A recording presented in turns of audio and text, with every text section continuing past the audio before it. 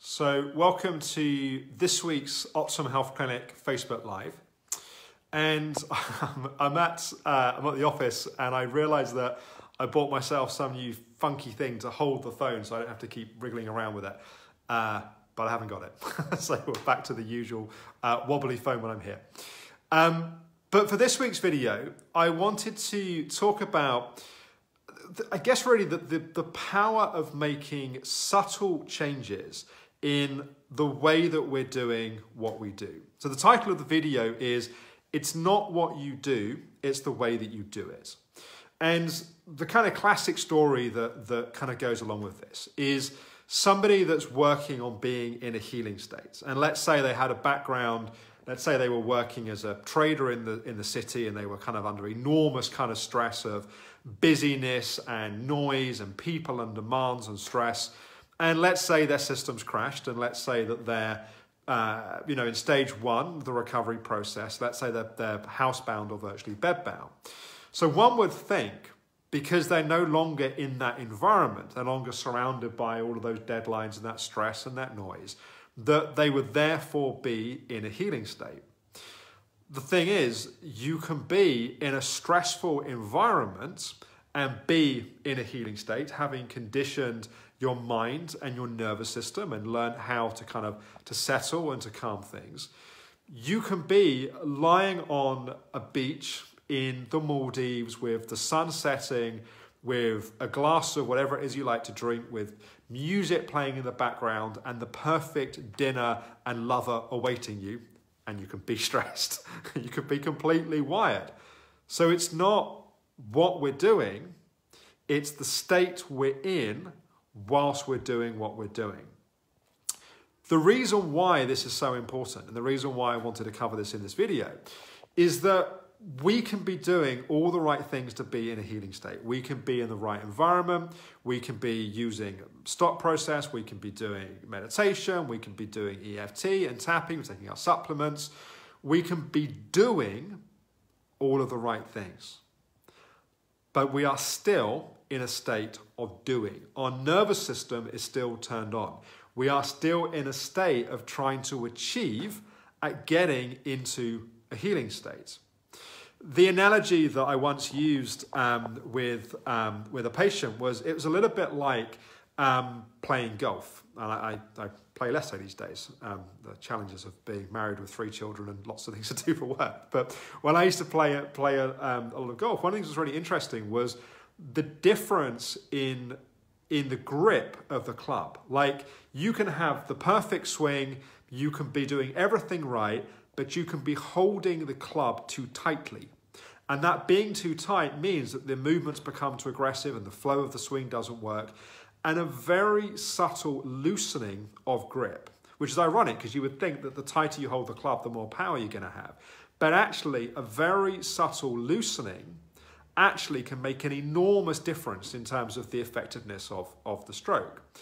So it's the same thing often with how we're using the tools and techniques that we're using, that we can be gripping too tightly. We can be trying too hard. We can be trying to achieve at getting into a healing state. And sometimes we can get so stressed at trying to calm everything down that actually the very action of trying to get calm is causing more stress and more anxiety. And so it's not what you do, it's the way that you do what you do. You can be doing all of the right things to get into a healing state, but the way that you're doing it, the tightness with which you're holding it, the expectation of the outcome, the pressure you're putting on yourself, the desire to get it right is actually causing more stress than you're actually resolving.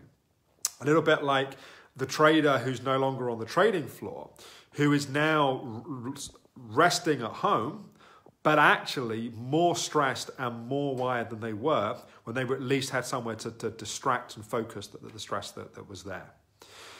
So, partly what I wanted to do was just kind of point towards this. Like, often if you can see it, you don't have to be it. Like, if you can just go, hang on a second, that's me.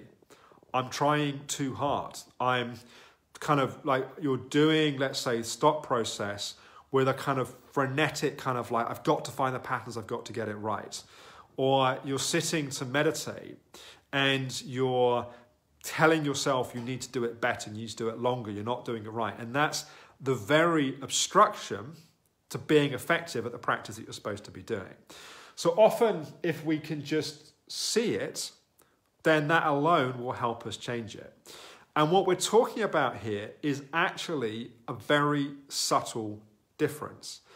And it's, it's, it's a tricky one, and it's quite a difficult one to articulate because it's not an increasing of effort. If we're an achiever or we're someone that is used to kind of driving ourselves to do things, it's like, great, I see it, I need to kind of push myself, I need to change it. This is something where it's a subtle stepping back. Going back to my analogy about the golf club, it's like a subtle loosening of the grip. It's a being a little bit more patient in terms of our expectation with the tools and techniques that we're using. It's being a little more gentle with ourselves in the process of, of, of what it is that, that we're doing. Or it's having a more reasonable time frame in terms of the expectation of what it is that, that we want to happen. But really, the invitation here is, is to look at, and I'm, I'm particularly looking at, at this idea of being in a healing state, but of course, there's, there's different examples of, of, of how this could be playing out. But also, like looking at when you're resting, are you really resting? I did a Facebook Live, it was either last year or the year before. Uh, if you go to theoptimumhealthclinic.com and you go to the blog, there's a list of all the Facebook Lives.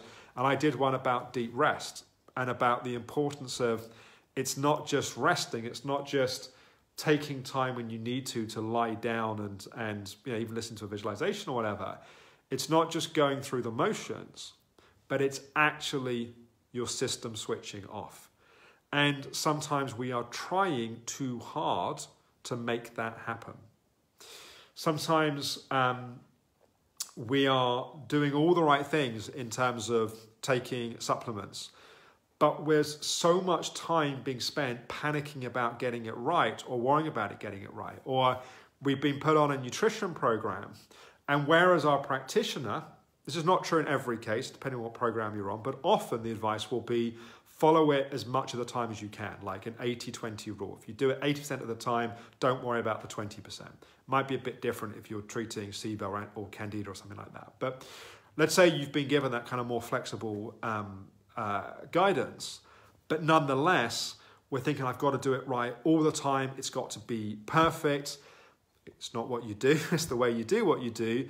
And if what you're doing is what you're meant to be doing, is basically just supporting your body and having optimum nutrition and food. And now it's becoming this massive thing that we have to achieve at, and we've got pressure on ourselves. Any benefit we're getting from the diet is actually now being counteracted by all the anxiety and all the pressure that goes around it. So it's not what you do, it's the way you do what you do. And often we need to just loosen a little bit of course, it's true to say that there are, there are people perhaps a bit early in the recovery process where we're not actively involved in driving recovery and we need to step up a little bit and become more proactive. So this is the kind of counterweight position for those of you which are putting too much pressure on yourself. That may not be true for everyone that, that's watching this. But if you are putting too much pressure on, loosen the grip. You can be absolutely determined, committed, consistent in following through with a looser grip we can have this belief sometimes that if I'm not kind of if I'm not obsessing about this and driving this, it's not going to change. And one of the things that can be so fascinating is actually things can change faster when we slightly just loosen our grip of the way that we're approaching it. So I hope that's been useful. Um, you may have seen we had an email uh, last week, and I'll get mentioned, I'm sure, with this video about conscious transformation, which is my online coaching program.